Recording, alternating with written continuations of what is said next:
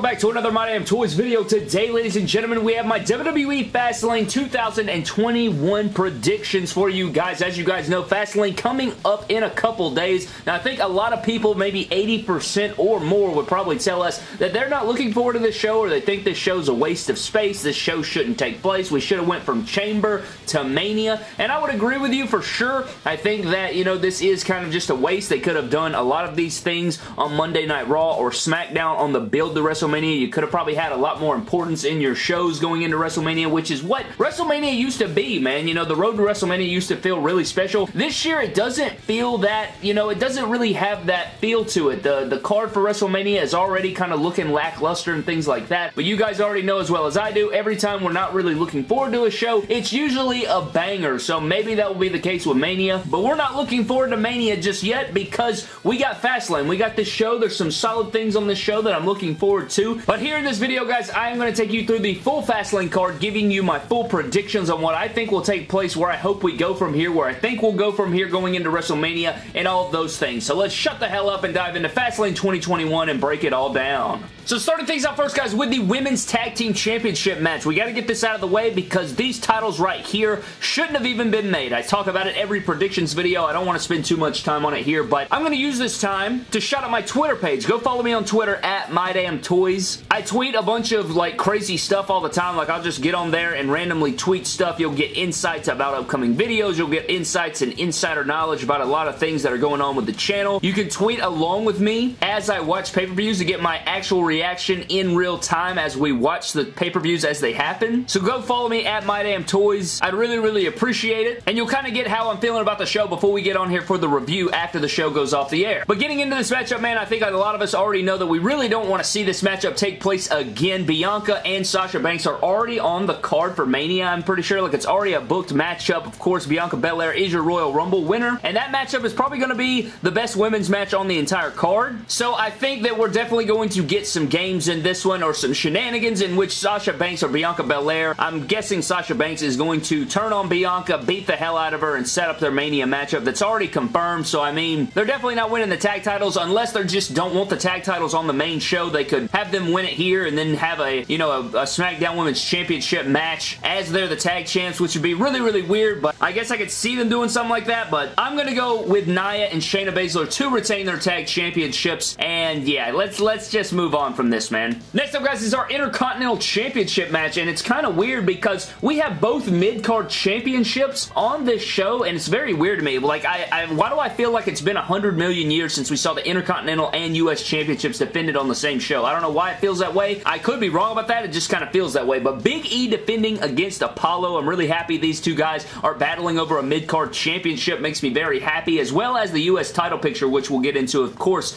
in this video coming up. However, this one's interesting to me. I don't know where they're going to go from here because I don't know exactly what they're planning for Mania. If they're going to have a big ladder match, are they going to have a lot of guys involved? Is it going to be a triple threat? Are we just going to get another one-on-one? -on -one? Which is why Fastlane is kind of annoying right here because why do we need this matchup when we could have built it a little bit more? Maybe throw another guy in there building up to Mania? I don't know, man. I, I don't know where they're planning this one. I could see them throwing a bunch of guys into a ladder match and having a big old corral there and it'd be really, really nice. Uh, at the end of the day, I feel like uh, I think I'm to go with Big E. I think I'm to go Big E in this one simply because, like, couldn't you just see them throwing KO, Sammy, Shinsuke, Big E, Apollo, Seth Rollins all into this big Intercontinental Championship ladder match? Wouldn't that be absolutely beautiful for Mania? Hopefully they end up doing something like that. I think that would be brilliant. But yeah, man, I think I just I don't know. I don't know why I feel it, but I think Big E's to retain the championship, and we'll see where the Intercontinental Championship kind of goes from here. Next up, guys, we have a singles match between my man Seth Rollins taking on Shinsuke Nakamura. Now, honestly, I think Shinsuke would get a lot of benefits from winning this matchup. Of course, you do have like Cesaro involved in this thing, and but again, I don't know really where they're going from here. I don't know what their plans are exactly. I heard it was just going to be Cesaro versus Seth Rollins straight up at WrestleMania. However, I think I'm going to go Rollins to win here. I think it would probably be better for the babyface to go over at WrestleMania or whatever they're planning here. But again, I don't know the full fleshed out plan just yet. I don't know if we know the full concrete plan, so I just feel like Seth Rollins, maybe this this will be a really good match. I hope they give these guys time and we get a pretty good match, and maybe we'll get a little prequel to what we may could get at Mania, depending on what matchup we get, but I think I'm going to go with the Messiah here. Go with Seth Rollins over Shinsuke Nakamura, and we'll just see how that thing goes. Hopefully we get some cool gear, though. And I also don't know why the hell the Shinsuke is like towering over Seth. Like, I think this is a giant difference. I'm not sure. I guess it's the legs of Nakamura. I, I, I don't I, I don't know nothing.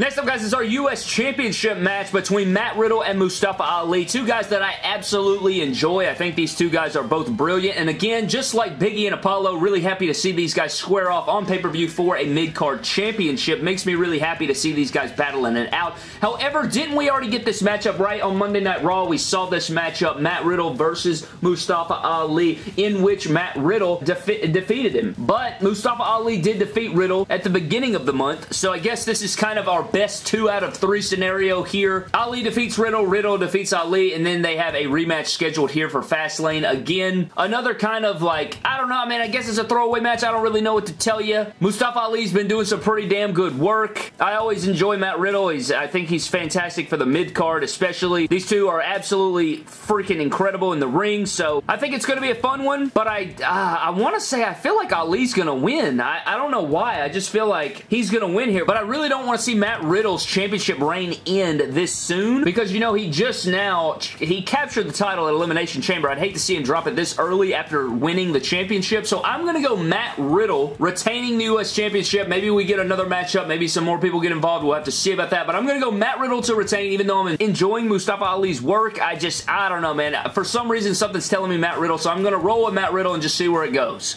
Next up, guys, is our intergender match. Randy Orton taking on Alexa Bliss. Intergender matchup here, and I think the whole story, we already know where we're going. Fiend versus Randy Orton is being booked already for WrestleMania. Like, you can already see it here. I think the Fiend will, uh, he'll show up here, man. I think we get the Fiend returning here at Fastlane, setting up the, the Mania matchup for Randy Orton, and I think Randy Orton will go over here, or he will lose at the very last second, as in the Fiend comes in, you know, distractions, you know, uh, crazy, crazy crazy, spooky-ish, and Alexa Bliss wins. I think Alexa Bliss will win. I don't know why he would allow Alexa Bliss to lose, though, so I think Fiend shows up, Alexa Bliss ends up getting the victory, setting up Mania, Orton versus Fiend, so I'm going to go Fiend showing up here and costing Randy Orton the matchup, leading to their WrestleMania match, and uh, I thought about a Buried Alive match for Mania between these two, or some sort of cinematic matchup, but I guess we will have to see exactly how that goes, because, I mean, Randy Orton set this man ablaze, and I don't know how a Buried Alive matchup makes that any better. So, you know, if, if you can't kill him with fire, buried alive, I don't, I, I don't know. It's kind of like the only way you stop Jason Voorhees is you don't really kill him. You just, you dig a big ass hole, you put the, you put him in there, and then you pour concrete on it, and you seal him in there where he can't move. That's really the only way you defeat monsters like Jason Voorhees and The Fiend. So, I don't know. I guess we'll just have to see how it plays out, but I'm going to go Alexa Bliss over Randy Orton.